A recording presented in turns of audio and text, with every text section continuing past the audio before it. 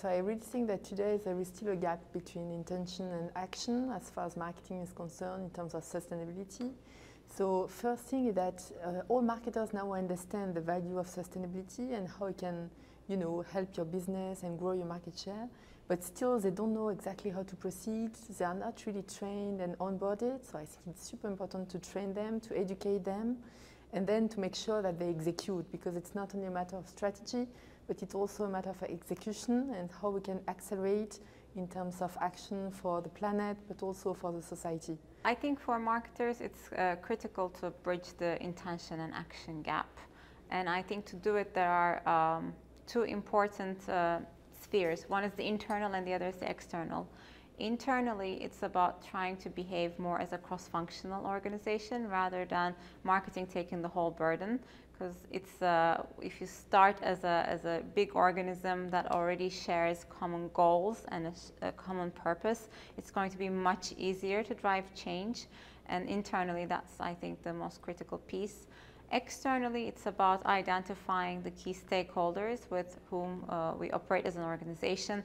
Can be your customers, your suppliers, uh, governmental organizations, uh, really naming who those stakeholders are of course your consumers and, and you know your employees as well. I think one of the biggest travesties of our generation will be to believe that sustainability is going to be sold by somebody else.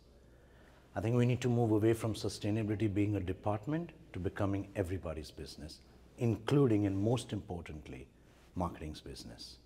We need to change the what and the how of the business, not necessarily just the why. So to close the say-do gap, originally, I think we need to find the real insights that can really um, trigger the consumer behavioral change, especially at the moment of shopping or buying decision.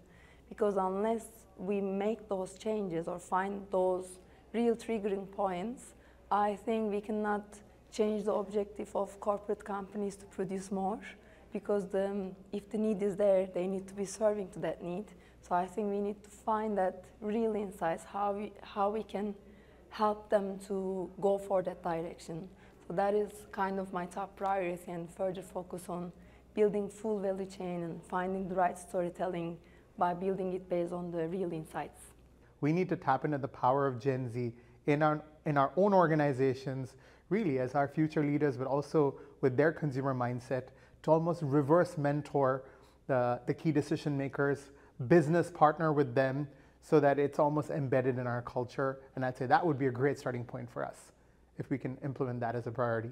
I think the first thing it has to come from the top, you know, both from corporate executives and CEOs to the CMOs around the world. You know, I think we all will agree as consumers, um, as parents, that it is important. Sustainability is important in what we do to build brands, what we do to build products. But I think in order to bridge that gap, we need to actually keep it focused and simple. I think everyone is trying to do too many things. And I think we need to focus as an industry and as brands and, and as people uh, and as marketeers, importantly, to focus on a few things that we know will have impact.